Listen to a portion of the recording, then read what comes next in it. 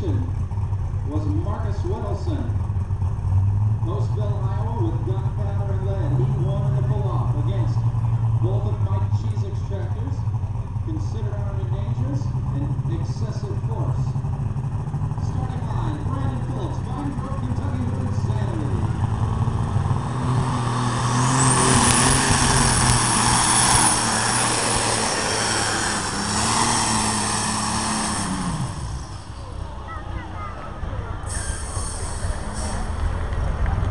Well, as the option puller, we'll wait to see exactly what we hear from Brandon. Brandon does have the opportunity to turn that pull down, talk things over, of course, with his crew, and see exactly what that decision might be. We'll mark him at 159 and 03 for the short term, 159 and 03.